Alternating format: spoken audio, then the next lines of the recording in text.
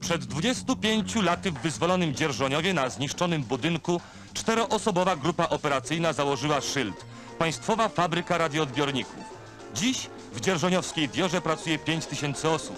Wyprodukowali ponad 6 milionów aparatów radiowych i 600 tysięcy telewizorów.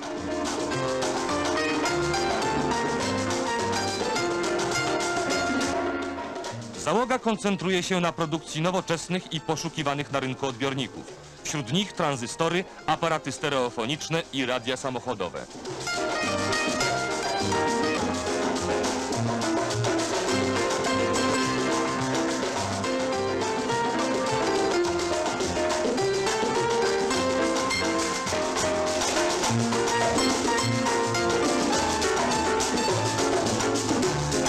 Ewa, Fagot, Alina, Trubadur.